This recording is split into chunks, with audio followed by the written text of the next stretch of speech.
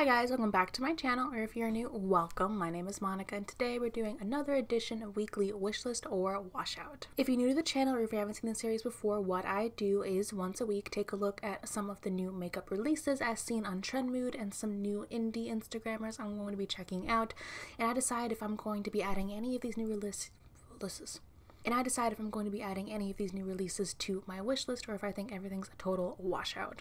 Before we jump into this week's products, don't forget to give this a thumbs up if you like this weekly series every Wednesday, and if you haven't and you'd like to, I really hope you would consider subscribing so you're notified whenever I post a new video every single Monday through Friday.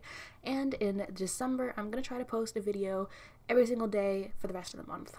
So I'm going to need to scoot. There we go.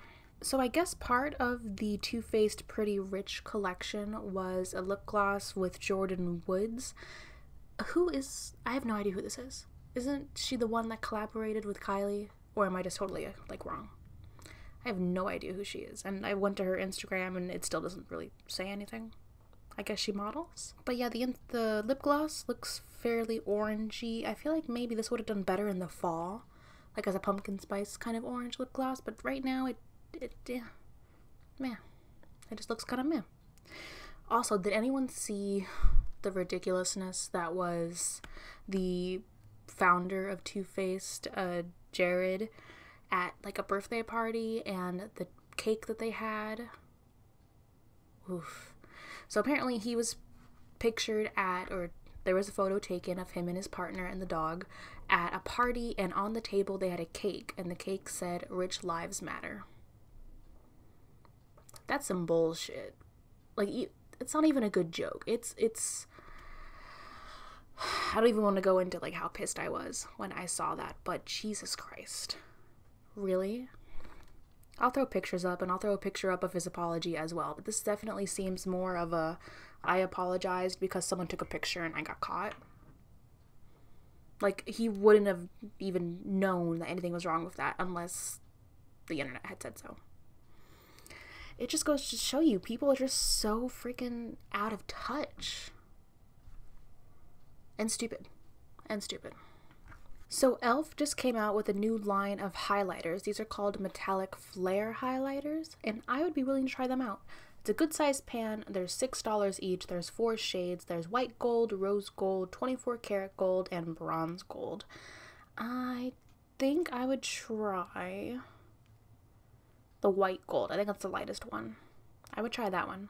I like the packaging. It looks a lot more sleek. This almost looks like, like the old Ofra packaging, right? I think it looks cute. $6 is a good price point. I actually, so I haven't gone to the mall, like, surprisingly, in months. Like, I haven't actually been to a physical mall, but we do have an e.l.f. store in our mall. So I do want to go and check out all of these new e.l.f. products because I did place an online order for full face of e.l.f. and I do have enough products and I'm hoping to film that like this weekend. But I haven't actually gone to the e.l.f. store and like tried to check out anything new. So we'll see if I can do that before the video. But I bought a lot from e.l.f. over Black Friday. Holy, oh my god. So these, I guess they were a set of brushes that were released limited edition and now they're coming back.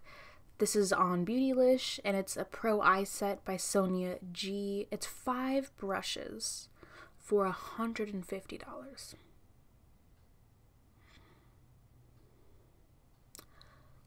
Five brushes for a $150.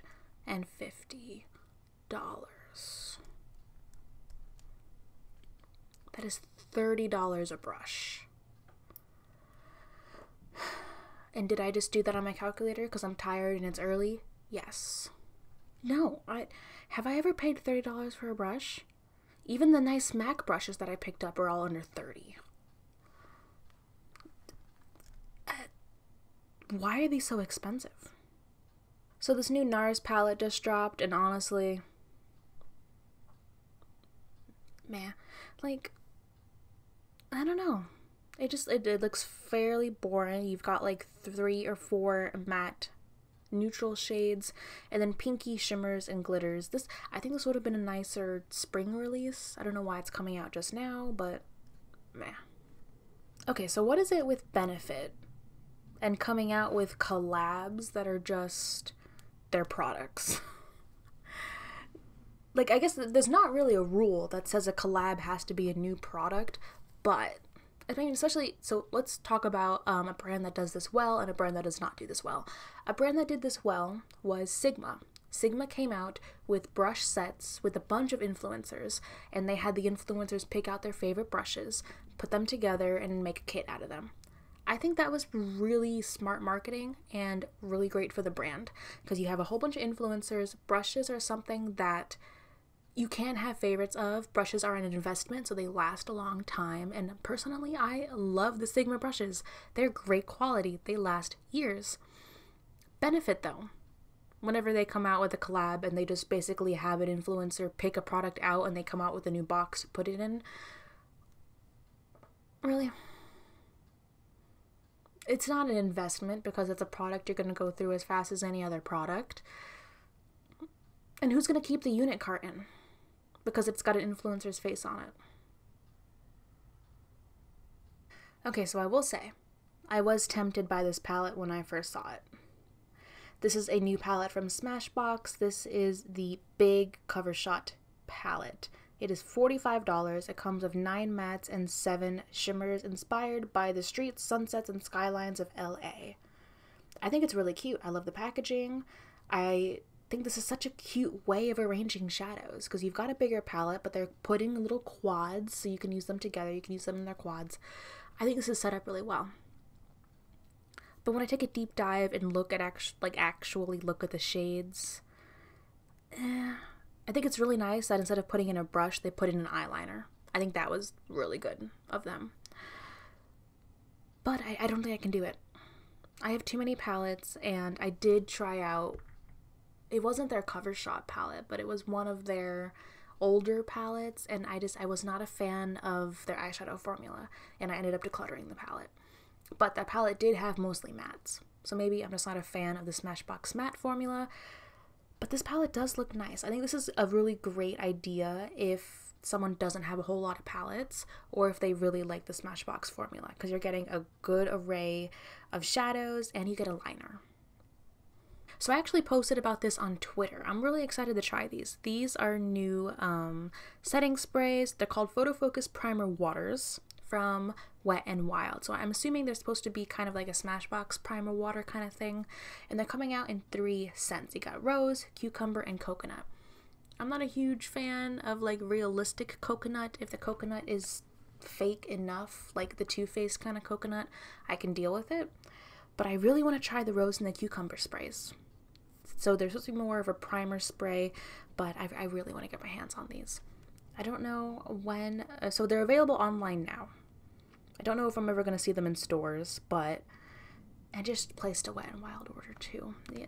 I, it might be a little bit before I get my hands on these, but I am interested in the rose and the cucumber, and they're only $4.99. Physicians Formula is coming out with some new eyeshadow palettes. Now, I will say I've never tried any eyeshadow from Physicians Formula, because I feel like they just have some kind of run of the mill, uh, I'll say it, boring palettes. These ones actually look really cute. I mean, they're still really neutral. There's more of a warm tone with a pop of blue because everyone has a warm tone with a pop of blue, but they have a neutral palette, and I would be willing to pick this up just to try out their formula because I've never tried an eyeshadow palette from them before. And I like the size of this, I like the amount of shades you get, and I like the way that it's arranged. So, intrigued. The palette that I'm specifically intrigued in is Sultry Nights, the more smoky neutral palette. is anyone else surprised that these Urban Decay little mini on the run palettes are already on sale? Because nobody asked for these. this looks gorgeous. Oh, I am I am 1 million percent sucked in by the packaging and presentation of this product. So this is coming in spring of 2018. This is a gorgeous spring release, and this is a highlight from MAC. This is called Fleur Real. Oh my god, I love it. Look at it. I, I want this.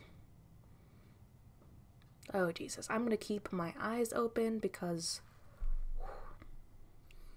Okay, so I know I do still have some more from Trendmood to go through, but I want to switch gears here and look at the indie Instagram page that I really want to take a look at.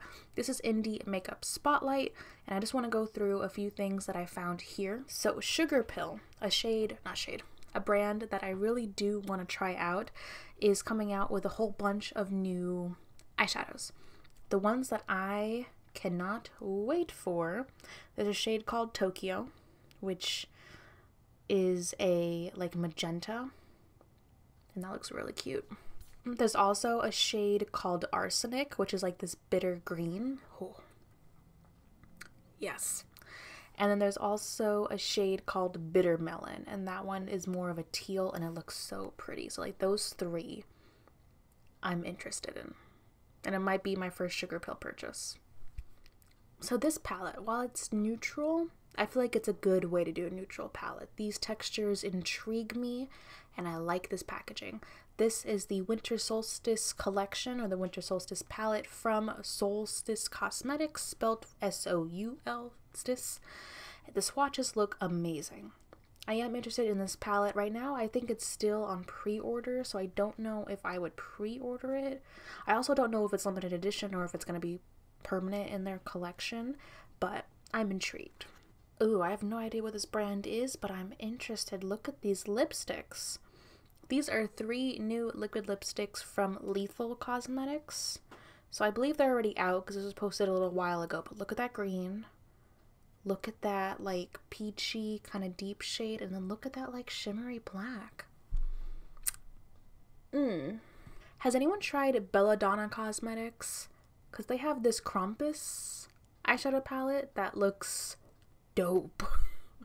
but it's limited edition. I don't know if I'm going to get my hands on it in time, but this looks it's different and I like it and I like the green, I like the red, there's some purples.